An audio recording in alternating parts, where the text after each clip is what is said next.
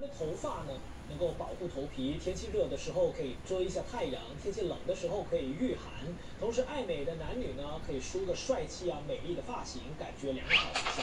然而呢，理发之后留下的这一堆又一堆的烦恼丝，它有什么用处呢？马上给大家揭晓答案。我们来看照片，没错了，头发原来还可以成为这些衣服的面料。在荷兰有一家新创公司，近年来是致力把人类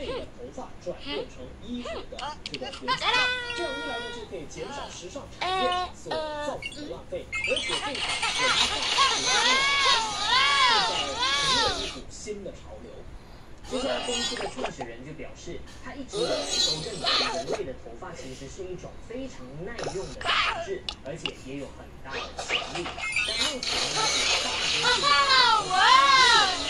是废物的处理，一般呢都会直接进行焚烧。他认为呢这样做其实并不太环保。这家公司提供的数据更显示，每年有七千两百万公斤的人类毛发废料，相当于西座巴黎的埃菲尔铁塔公证，因为没有被妥善利用，最终只能进入欧洲垃圾掩埋场，然后再进行焚烧。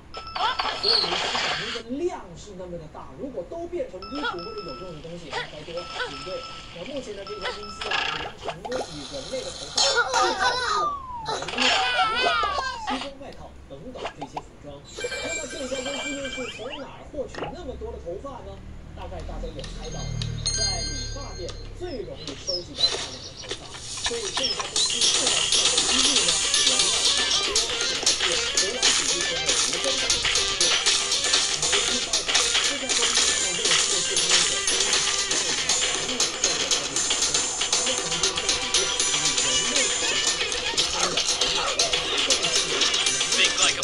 Minecraft, Minecraft, build like a Minecraft, Minecraft.